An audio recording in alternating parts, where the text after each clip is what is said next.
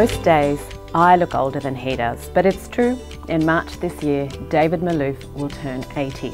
To celebrate, we are publishing a gorgeous collection of his most personal and beautiful writings.